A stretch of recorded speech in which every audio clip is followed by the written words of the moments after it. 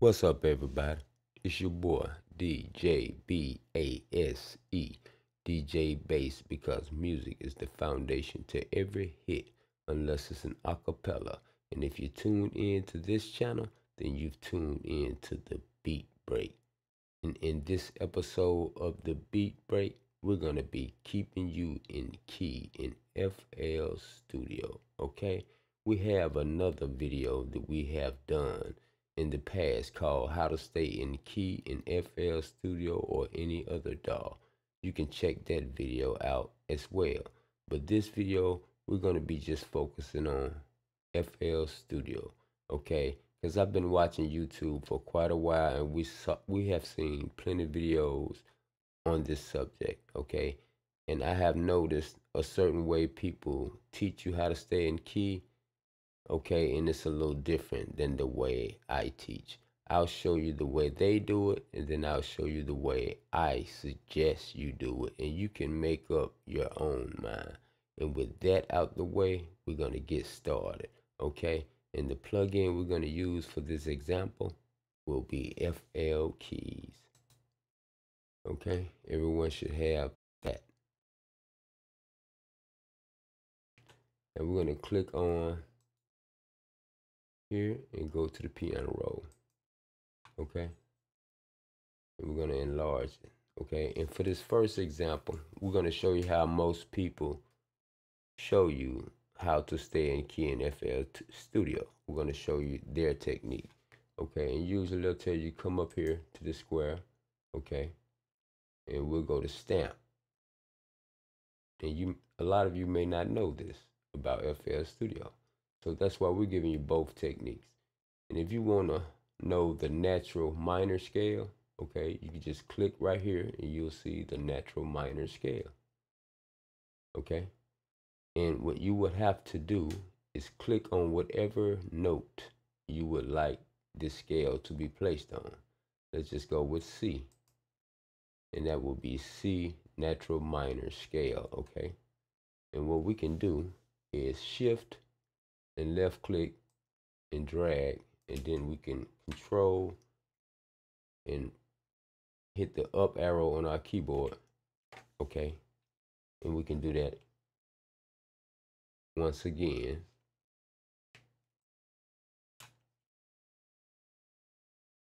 Okay? Let's go. And that's it okay all right, and this is what people usually do. And then they'll highlight all of these, stretch them out for however long you want your song to be. Let's just say two bars, okay?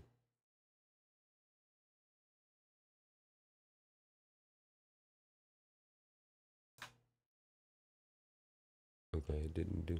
Okay, so when you put these stamps in here sometimes they they're tricky because you don't have control over them like you have over most uh, notes. You can't move them individually okay? So we're to just leave that the way it is. Let me see if I can cut those off. Cut those ends off. Okay I did. It was able to let me do that. Be patient if you don't have this technique understood, and you'll learn something. Okay. And see what they like to do then is go to the uh, channel rack. Okay. And pretty much mute that track. You can even mute it down here. Okay. And that way it doesn't sound. And then what they would do is go here and open up another FL keys or whatever instrument And now when we hit go to piano roll, you can see all the notes, okay? Of that scale, okay? And then what they would do is go ahead and just begin to add notes. You know. Okay, let's turn the volume back up.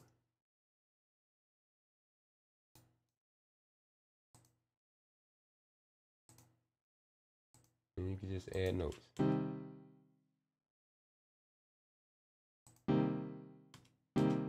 In the ghost notes, right? Let's just add random notes. Okay.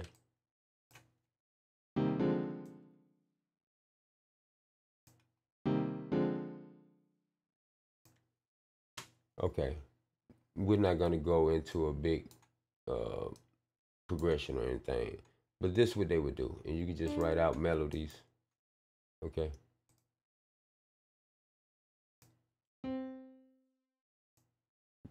Just click wherever. Okay.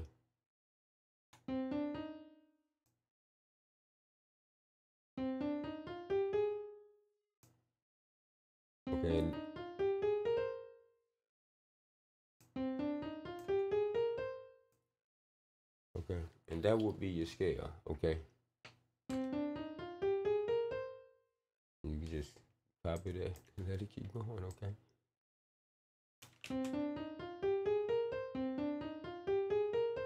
Okay, add a little bass note in there on C.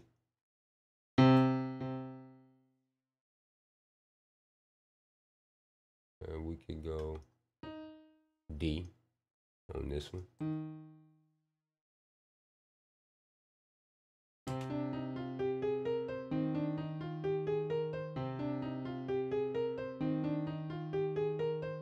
Okay, that's just a quick example, okay? You see how you stay in key.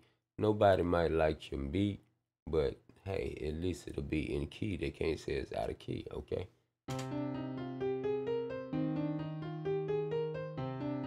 Okay, and that just goes on and on. And as you pick other instruments, okay?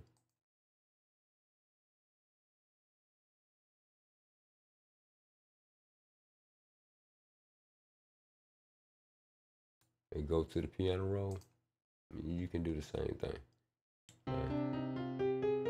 I don't even know what, what sound we have. Hold up. Let's just pick a sound.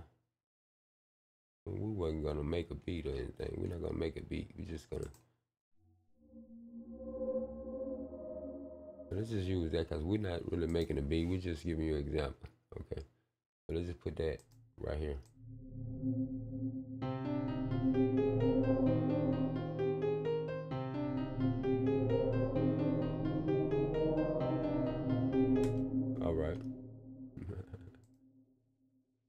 Just turn it down.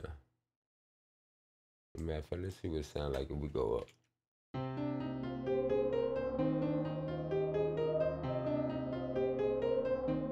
Let's see if we double it up.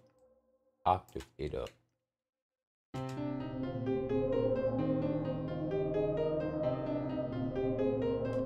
Okay, let's see if we shorten these half by half.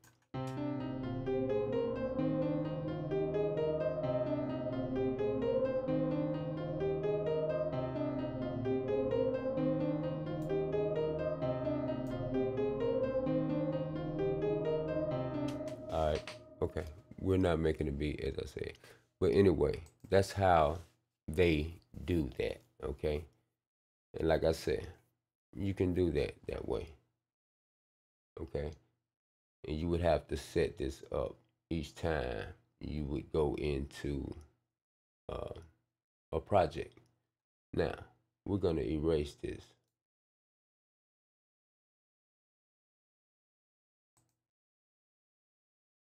Okay.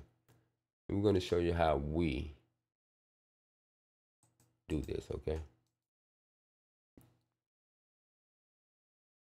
All right. In this way that I show you, once you set it up one time, you don't have to do it anymore, okay? Every time you come in FL Studio, it'll be set up, okay? You don't have to do it but once, okay? And first of all, you want to look at this keyboard, the way it looks now it can't look like this for this to work. First thing you want to do is go up here to this arrow and you want to go to view. All right. And as you look over here at key labels, you see it set to root. Okay. And the, it's on the root. Okay. It's labeled. The root is labeled. As you see highlighted notes, it's not able to be selected. Okay. So what you have to do in order to select highlighted notes, you got to go to keyboard style first.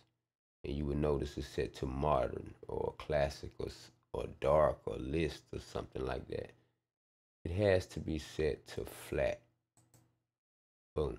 For this to work, okay? And as you see, it changed the look of the keyboard.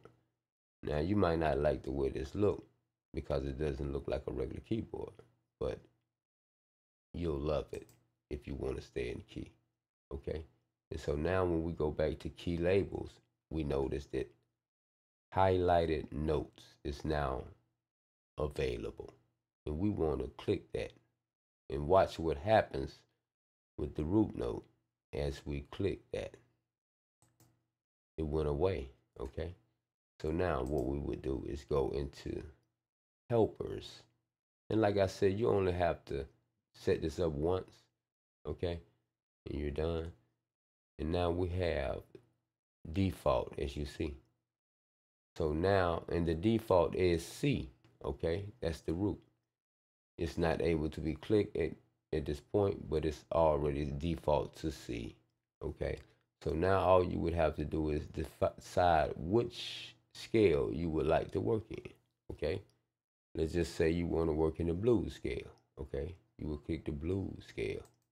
Boom. Now you will notice the blues scale is set up in C, okay? Oh, okay, with C at the root. You can see C, the root is highlighted in dark gray, okay, C to C.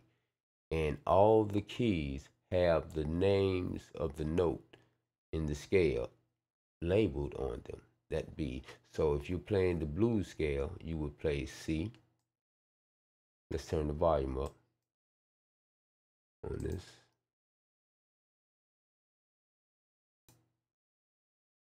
Okay. You would play C, D sharp, F, F sharp, G, A sharp, back to C, the tonic okay? And that is your blues scale, okay? And you would play that.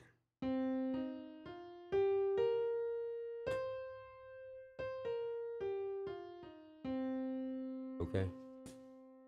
And so, as you see in the piano roll, the notes are already highlighted for you. All the light areas are where you would place notes, as you see.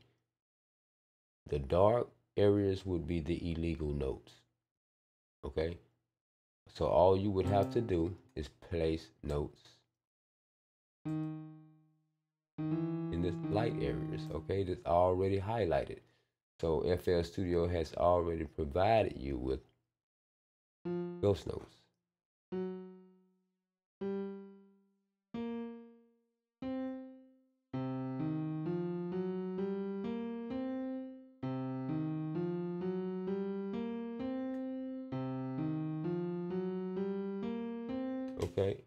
You have the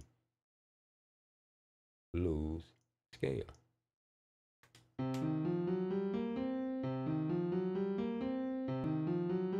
Okay, and so you could make a song in the blues scale. Okay, you can make make chords. Okay, or whatever. Don't need to guess. And if you want to change that, okay, you just go into helpers, scale highlighting, and let's go to natural minor scale, okay? Boom. C is the tonic, okay? It's highlighted in gray, okay? So you're gonna always know what key you're in because it's gonna be highlighted in gray. And then from that gray key, which would be your tonic, the rest of the key uh, notes of that scale will be laid out on the keyboard for you. And the notes will also be highlighted, or you would already have automatic ghost notes, as you can see, and begin to just place notes anywhere without thinking. It's just automatic, okay? and you're in key no matter what you do. All right? And you begin to write scales, okay? Mean chords. Like I said, we're mm. not making a beat, we're just mm. showing you. Okay? You can go.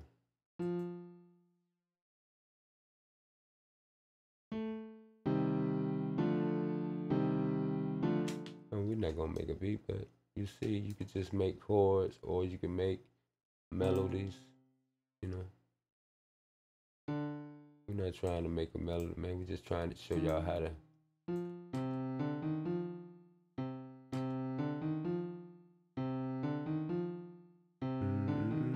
mm-hmm. Okay, and so you don't have to think about it anymore. And with that out the way, man, listen, you've been listening to your boy DJ B A S E teaching you how to stay in key in FL Studio, okay? And before I go, let me just show you. You could just go from C, and you can go to, let's just go to D sharp, natural minor. And you see, the tonic is highlighted dark, okay? And after that, you see the rest of the keys of the scale of D natural minor. Just begin to write notes in there. real simple without even thinking. That's illegal. You know it because it's on the dark key. And that's your scale. No need for all of those ghost notes, okay? They're already there for you. And every time you turn off FL Studio, this will still be set. The key you were in will come up. If you want to change key, just change key. You don't have to go through all the steps again. So you have your ghost notes of any key you want already set up for you every time you go in FL Studio. Okay? And on that note, man, you've been rocking with your boy DJ B A S E DJ Base. And if you like this video, if you found it informative, or if you just found it entertaining, like, share, comment, and most definitely subscribe to your boy channel, The Beat Break. And I'll see you next time.